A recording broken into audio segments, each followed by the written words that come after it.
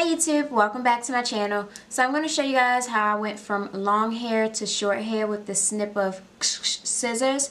And this is a weave, BTW. So um, my weave was getting just kind of like old a little bit. So I'm just showing you guys how I went from a very long weave to now a very even Besides the front of my hair, don't judge me. I'm going to add some hair in the front at a later date, probably tomorrow, but it's too late for me to do it now. So, I want to show you guys how I got this look. If you want to see how I got this look, then keep watching. So we're going to cut our hair about up to here. I'm trying to see where my real hair. My real hair in the back. So basically, I'm just going to go around the perimeter of my hair and take out my natural hair. Pin my natural hair up in the back.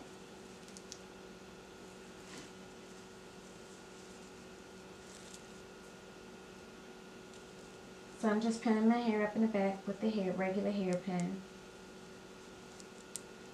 Like that. And then we're going to let this back down. And I'm going to do the same thing to the front of my hair. Take all of my natural hair out.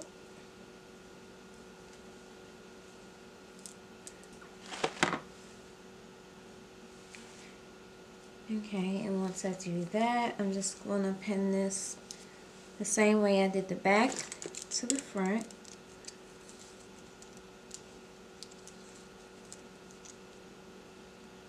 And then I'm going to take the fake hair, bring it up to the front, both sides.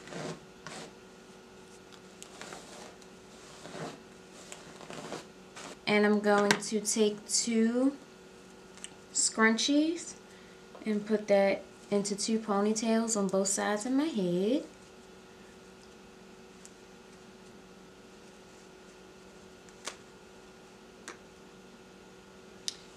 And basically what I'm going to do is pull them both down to the length I want to cut this hair. And my real hair we said was down here so I think I'm going to go maybe this long. And I'm going to go about that long. Make sure they're even. This is the secret. Use a scrunchie so that your hair stays in one place. Make sure they are even as possible. And then we're going to take the scissors snip, Okay, so we're going to make sure our hair is even.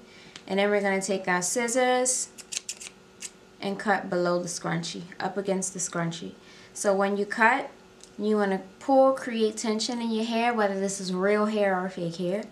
Create tension and cut.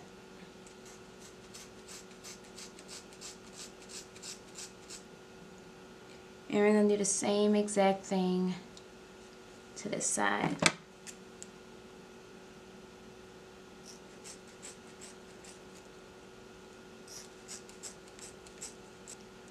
Okay?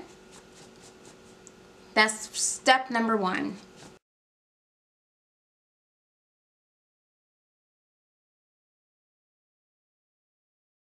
Okay, so now we got rid of all this excess hair that we're to get rid of and toss in the trash.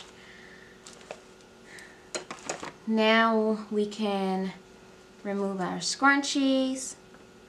So now once you remove your scrunchie, you should have a blunt cut. If you want to cut it more even, you can do that now freehandly, but that's not what I'm going to do because I don't know how to cut freehand. So, um, I'm going to just keep this as it is and create a nice wave to it. Um, as you can see, like now it's like a fresh end. It's not as frayed as the ends that I had. So, this is going to create more of like a healthier look to my hair. It already looks healthier. Or, I mean, I guess it's not real. So, it looks neater or more, you know, voluminous, I guess. So then we're going to let this down and I'm going to wash my hair off camera because my hair really needs to be washed. But just to get an idea of what it's going to look like, this is kind of what we were going for. So this is kind of what she's going to look like when she's done.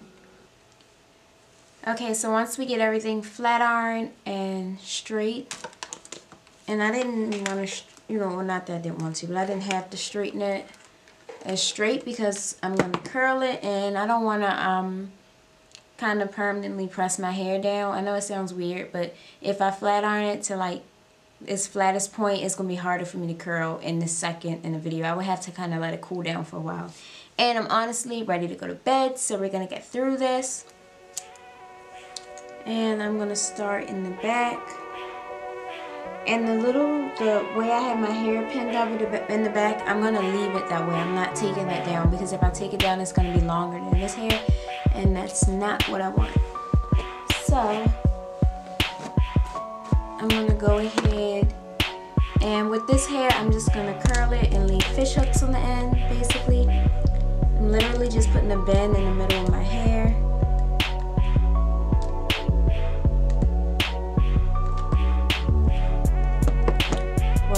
Going to be fish hook because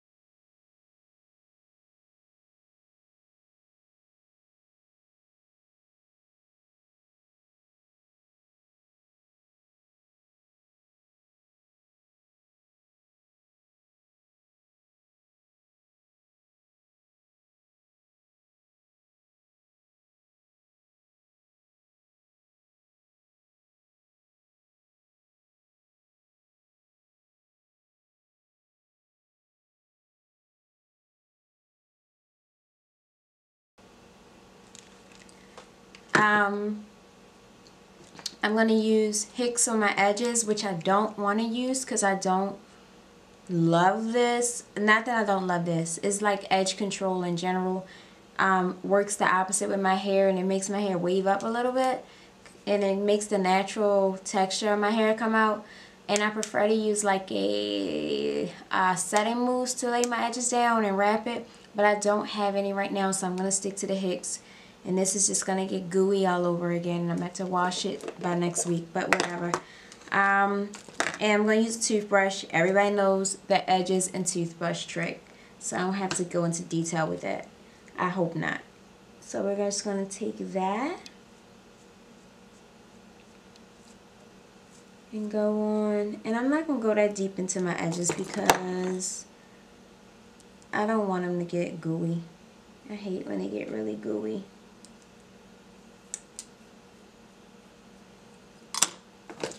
I think I'm just going to go this far and that's it.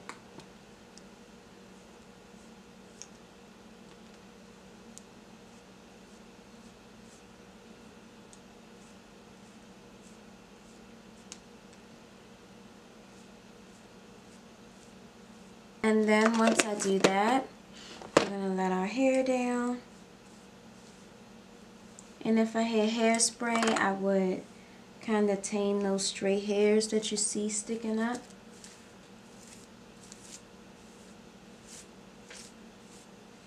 And I would tease it and kind of like spray it out a little bit.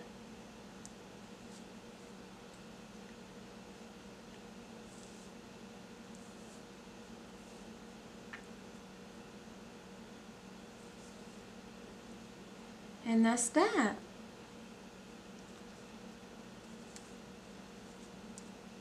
And we're all done.